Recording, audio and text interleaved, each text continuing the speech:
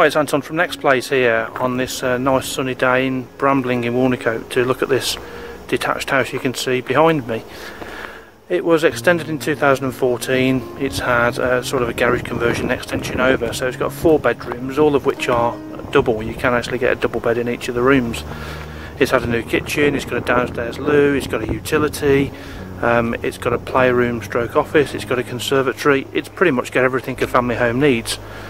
It's the most cost effective four double bedroom property currently on the market. So what we're going to do is we're going to take a look around, come and organise a viewing and see for yourself. The office number is 01827 50700 and we'll, uh, we'll look forward to giving you a viewing here shortly.